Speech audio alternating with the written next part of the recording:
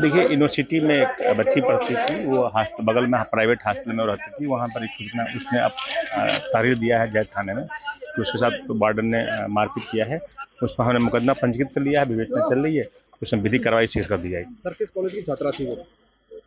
Jail university की मैं पढ़ती थी बच्ची हूँ वो प्राइवेट प्राइवेट हॉस्टल में रहती थी वहाँ के वहाँ का मामला। है